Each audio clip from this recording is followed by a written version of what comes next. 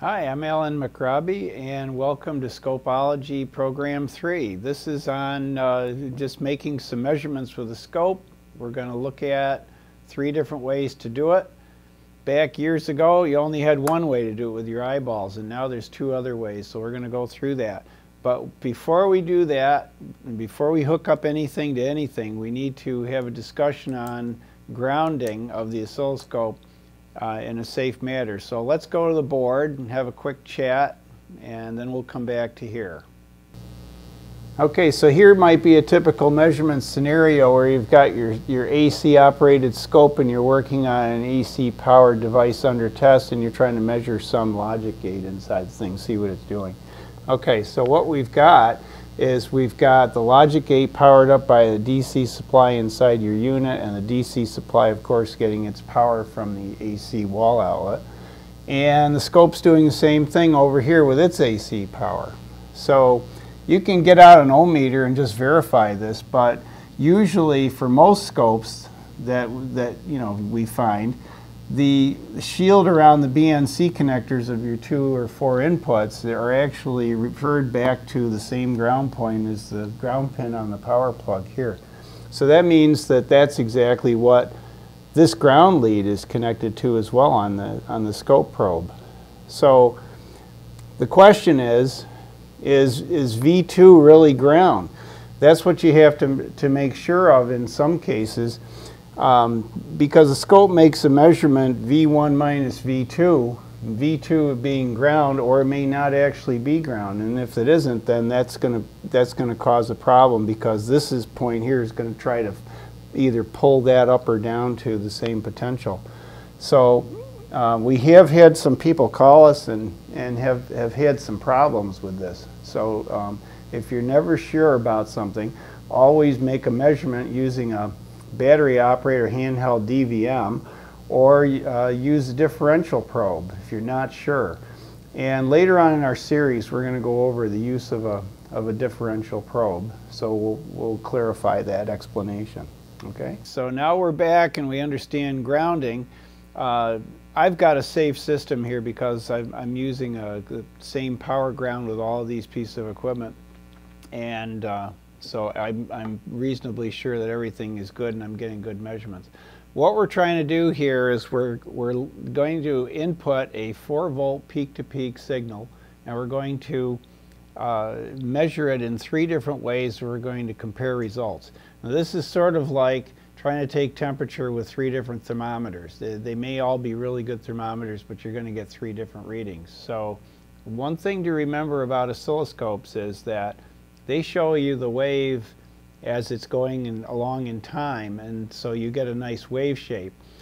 And that's what scopes are really meant to do. There's other types of measuring equipment that are more precise, like digital voltmeters are more precise and, and have many more digits of resolution. And there's also frequency counters that can measure uh, frequencies of waveforms better than scopes can. But the, the point is today, there, there's a lot of good measurements that can be making, made with an oscilloscope and these other features actually add to the utility. So let's take a look at these three things here. What we have is we have a generator that's putting out a, a 4 volt peak to peak sine wave of about 200 hertz and I'm measuring it using uh, Fluke uh, DVM here and it's a true RMS reading meter. So I'm looking for exactly 1.414 volts RMS. And that'll give me my 4 volts peak to peak here on the scope. So you can see it here.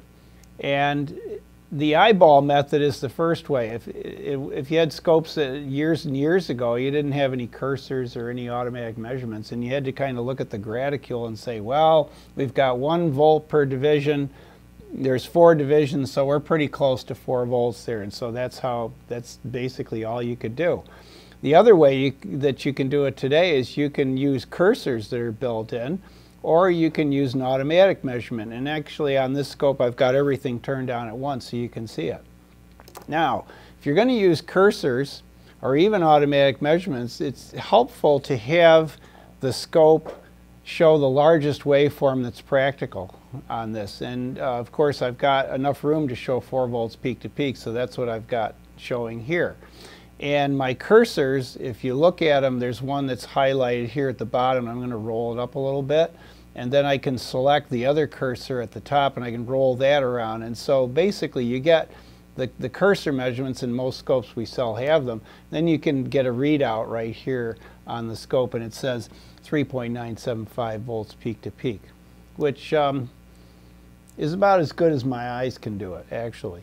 Um, what's, what's more helpful is possibly the automatic measurements which are shown along the bottom here. I've got, I've got volts peak to peak, I've got frequency, and I've got RMS voltage here. Um, so let's take a look at what these are showing. Our peak to peak measurement is showing 4.02 volts, which isn't too bad. Um, if you notice that if I, if I decrease the peak to peak uh, or the sensitivity of the, of the uh, input, I, you notice that the measurement tends to bounce around a little bit and it becomes less accurate. So again, give the scope the biggest thing that's practicable and then it, it'll do a better job measuring. That also is true for the RMS measurement. And if we let this settle down, it gets very close to 1.414. Actually, it's right at 1.419 or 8 uh, volts peak uh, RMS. So that's actually doing quite well. And just as an aside, let's take a look at the frequency right here. And you can see that it's 200 point something hertz. Sometimes it flops to 199. And if you also, if you're interested in doing that frequency measurement, um, slow the sweep speed down so that there's more cycles on the scope to count.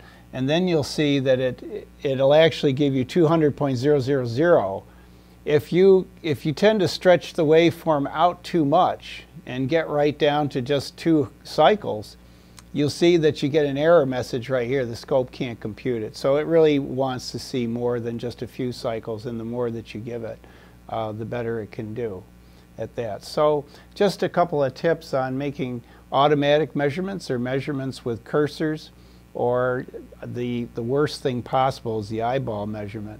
And we just looked at voltage here, but of course the cursors and the other measurements can do time and all sorts of other measurements as well. And, and there's an awful lot of things that can be pulled down uh, on this scope right here.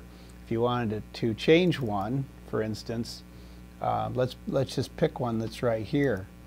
There's a whole menu of different automatic measurements that can be made. And if the scope is set up pretty well, then uh, it does a fairly good job at uh, giving you some pretty good numbers. So that's it for this session, and thanks for watching.